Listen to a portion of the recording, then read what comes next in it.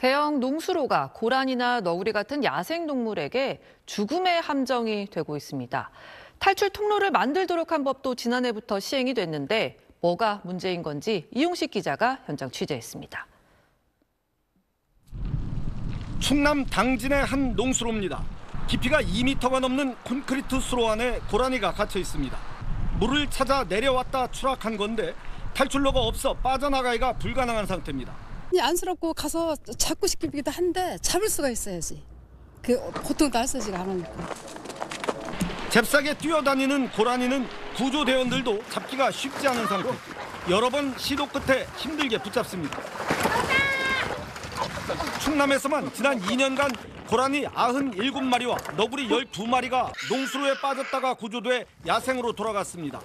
구조 신고가 안 돼 수로에 방치될 경우 죽을 수밖에 없습니다.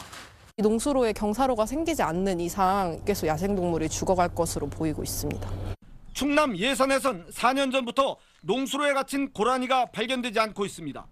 농수로 20km에 탈출로 24곳을 설치한 뒤부터 고라니가 스스로 빠져나갔기 때문입니다. 경사진 탈출로는 농수로에 빠진 고라니뿐 아니라 개구리나 뱀 같은 양서 파충류도 이곳을 통해 빠져나갈 수가 있습니다.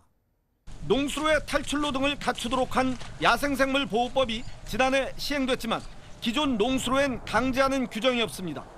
환경부는 매년 피해 실태 조사를 벌여 농수로 관리 기관에 개선 조치를 요청하기로 했는데 불응시 벌칙 규정이 없어 효과가 있을지 의문입니다. SBS 이용식입니다.